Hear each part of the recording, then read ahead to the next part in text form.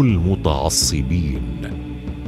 قال أمير المؤمنين عليه السلام فعدو الله إمام المتعصبين وسلف المستكبرين الذي وضع أساس العصبية ونازع الله رداء الجبرية وادرع لباس التعزز وخلع قناع التذلل.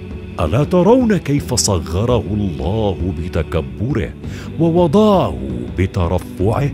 فجعله في الدنيا مدحورا وأعد له في الآخرة سعيرا.